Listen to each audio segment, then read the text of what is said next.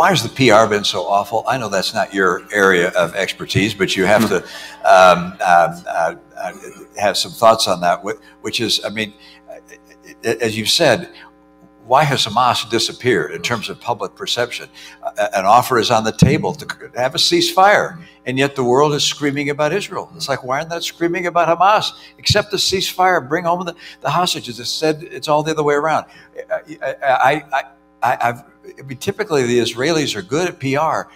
What's happened here? How have hmm. they, how have they and we been so ineffective at communicating? um, the the realities there and our, our point of view. Well, look, I think there are two things. Um, one is that look, there is an inescapable reality, uh, and that is the inescapable reality of uh, people who have uh, have and continue to suffer grievously in Gaza, and that's real, and we have to have to be focused on that and attend to that. At the same time, um, how this narrative has evolved yeah, it's a it's a great question. I don't have a good answer to that. Um, there, one can speculate about what some of the the causes might be. Uh, I don't know. I can tell you this, um, and we were talking about this a little bit over dinner uh, with Cindy. I think in my time in Washington, which is a little bit, a little bit over 30 years, um, the single biggest change uh, has been in the information environment. And when I started out in the early 1990s, uh, everyone did the same thing. Uh, you woke up in the morning, you opened the door of your apartment, uh, your house, you picked up a hard copy of the New York Times, the Washington Post, the Wall Street Journal. And then if you had a television in your office, um, you turned it on at 6.30 uh, or 7 o'clock and watched the national network news.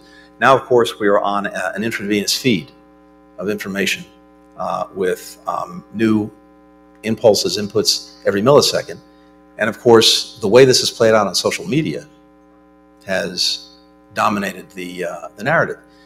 And you have a social media ecosystem environment in which context, history, facts get lost, and the emotion, the impact of images um, dominates.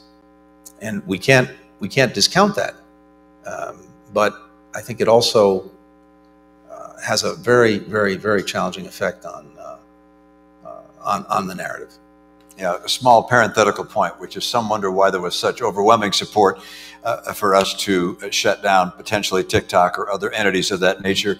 If you look at the, uh, the, postings on TikTok and the number of mentions of Palestinians relative to other social media sites, it's overwhelmingly so among uh, TikTok um, uh, broadcast. So I'd uh, I'd note that's of, of, uh, of real interest, and the president will get the chance to to make action in that regard.